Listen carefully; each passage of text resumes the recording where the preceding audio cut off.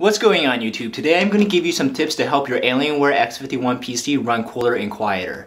The tips are going to descend in order of difficulty. So the most difficult tip I'm going to present first. So what you do is unscrew the screw that's right here. I already did it.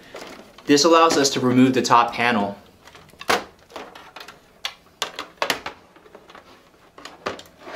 Once we have the interior exposed,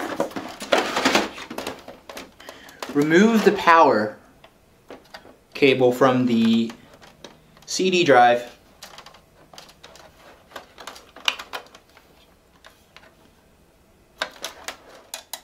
The screw holding the CD drive in place is right here. We're going to take this out.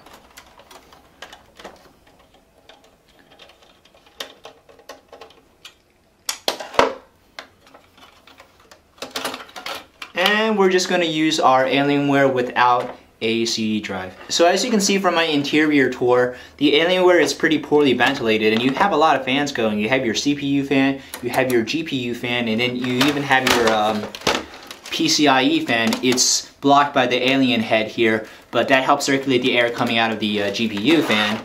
And then you have this little fan right here. So you have a lot of stuff going on and not so big of a space and giving us a lot of extra breathing room by removing the CD drive, that's to our advantage, help circulate the air. And you see I also have this spare power cable that can connect to a graphics card. Um, I'm only using the GTX 660. If you're using the GTX 670 or something, probably would use both of these power cables, but for me, like, there's really no room to shove this around here without making contact with the card or potentially blocking the PCIe fan or the GPU fan. So just having it hang out in the open space we have by clearing out the, the CD drive, that helps out a lot. And it's not so awkward for this cable to be there. And I don't know, I think CD drives are a relic of a past age. Maybe they were big in the 2000s, the aughts, but we're in the 2010s. We don't need CD drives if I need drivers for software and stuff, I just download them. And the last game I have that I got from a CD, I think was Age of Empires 2. Seriously. Um, if you did upgrade to a Blu-ray drive from Alienware, I don't know how many people actually did because the upgrade to the Blu-ray drive is $100. Then this might not be the mod you want to make if you intend on using your Blu-ray drive, but for me, I watch Blu-rays on my TV downstairs. And I have Netflix, so I'll just stream that through Alienware. So for future designs of the X51, I mean the X51's only been on the market for one year, but for the next modification going forward that Alienware can make, they might want to think about, you know, not including a CD drive. That would definitely help out with the space.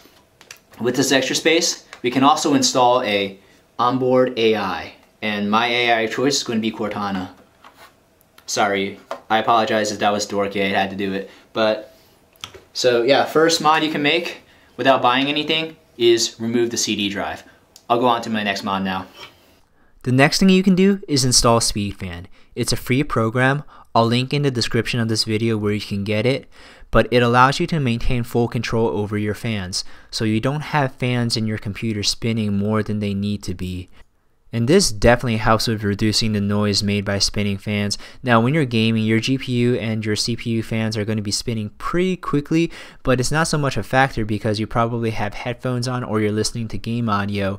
But when idling your computer, like I use my computer for a lot of different things like web browsing, video editing and writing, a cooler and quieter PC definitely doesn't hurt. So what you do is you have to turn on automatic fan speed. My mouse cursor is going to show you how to do it. And it, um, and you see the temperature readings. After I've done all of these tips, I saw reductions in temperature by a few degrees across the board.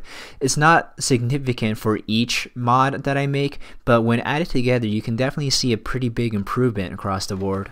Alright, the final thing you can do, just please hold your laughter and skepticism until I explain, is to rotate your alien head and have your PC lay sideways instead of like the conventional standing PC. You're gonna lay it down like a PS3 or an Xbox 360 console. And the reason why laying your Alienware on its side instead of having it stand up would be helpful is, if you notice, there aren't any ventilation areas or air holes on the sides, but around the back we do have a lot of holes.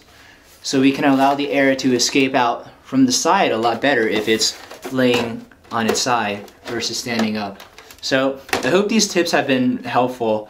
Um, it definitely makes the Alienware run a lot quieter.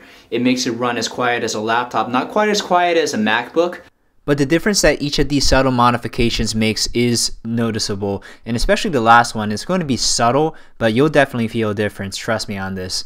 Well, I hope you've enjoyed the video. Have a great day, guys.